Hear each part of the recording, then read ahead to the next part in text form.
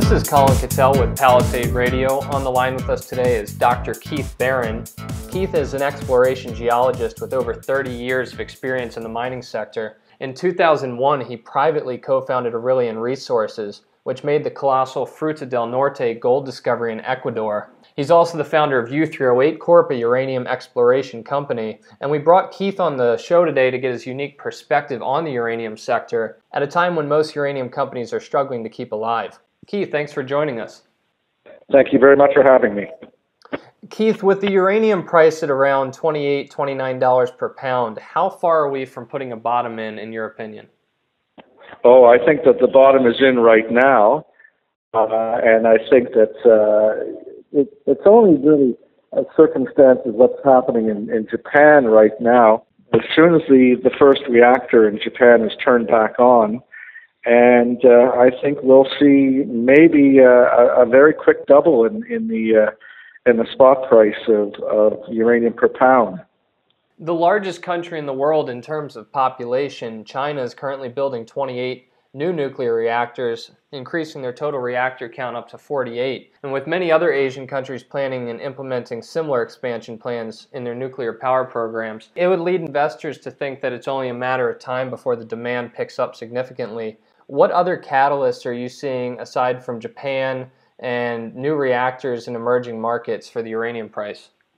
Well, you know, for many, many years now, the um, the uranium market is, uh, has been in a deficit uh, uh, in uh, with regards to uh, supply and demand. It hasn't been able to keep up with the demand for from the energy sector, and, and, what has happened is that um, over the last eight ten years, there was a program in the U.S. and Russia called megatons to megawatts, where nuclear fuel uh, taken from old warheads was downblended. Uh, I mean, not nuclear fuel, but nuclear material from warheads was downblended into usable nuclear fuel. Uh, now that program ended at the end of last year, and so there's no more material coming from uh, from the former Soviet Union. Certainly, there hasn't been any coming from the U.S. for for several years now. They, that that part of the program curtailed, I think, in 2008. Um, so, you know, really what's happened is that uh, the industry has been using uh, uranium that had been mined maybe in the 1960s and the 1950s even, uh, and for consumption in, in nuclear power plants, and uh, and that's all gone now. Um, so you know, this is not like the the gold business where uh, gold is always uh, you can um, uh, recast it and reuse it, and, and it's uh, it's really not destructive. Um, in uranium, uh, the the stuff is is uh, is used up and it's gone. So um, we've been in a deficit supply situation that is continuing, but uh, I did mention the, the, the Japanese situation. What's happened there is that the Japanese have continued to buy uh, nuclear fuel after the Fukushima incidents, uh, and they have not cur- curtailed their uh, their purchases. They've kept them up every month, and there's this perception out there in the industry that should Japan not go back to nuclear ever, that uh, there's this huge uh, supply overhang in the market. Well, the savvy people who know what's going on uh, know that it's going out the back door to China, and China has been buying from Japan. Uh, it's just not something that uh, anyone shouts about. So, uh, you know, there there's a situation right now where uh, they're building uh, new nuclear plants in India, in the Emirates, in uh, certainly a tremendous number in China, um, in Vietnam, and in Taiwan, many many different countries around the world. Uh, and certainly in China, where you have this situation in places like Beijing, where the air is hardly breathable, uh, nuclear is really the only option to clean up the air, clean up the environment, and produce clean uh, and cheap energy for uh, for their uh, their uh, certainly modernization programs.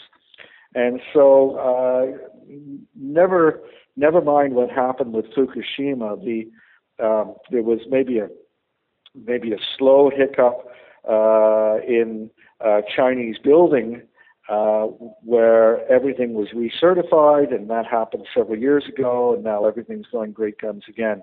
So we are going to see a lot of consumption, uh, a lot of new consumption of uranium coming on board, and really um, the West is is is going to become largely ir- irrelevant. Uh, U.S. and and Europe, even though they're bigger consum- big consumers now, they're certainly going to be outshone by China and by India.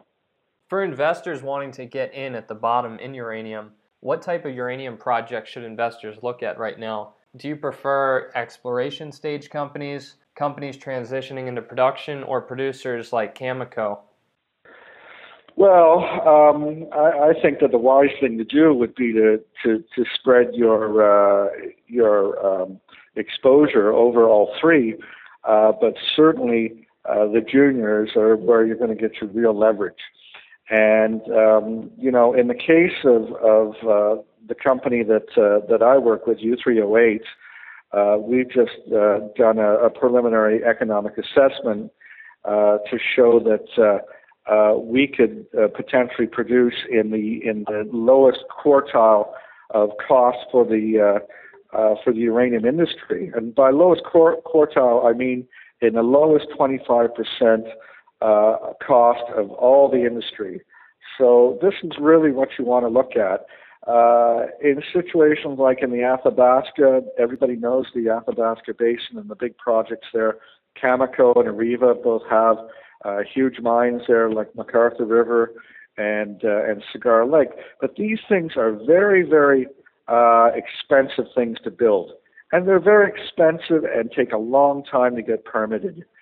So you you want to look for places, uh, companies that are working in places where it's going to be relatively easy to go ahead and uh, and produce. You can fast track these things, and I think that you know should I be right and the uranium price doubles, uh, you certainly want to be able to take a, advantage of that and uh, not have to wait uh, 10 or 15 or maybe even 20 years uh, for your, your permits to come through. And um, and I think the U3O8 working in in uh, in Patagonia in Argentina is is very uh, uh, well placed to uh, take advantage of that. And you've done a good bit of work in Argentina with U3O8 Corp, a country that's now once again in default. Many investors do have a bit of fear about putting capital into a country that's defaulted several times over the past few years. But the government's actually very pro nuclear, something that a lot of people don't know. Can you talk about that? Yes, and in fact, they just signed an agreement with the Chinese government to, to build uh, their fourth reactor. Um, Argentina has been a, a, a, um, a, nuclear country for many, many years.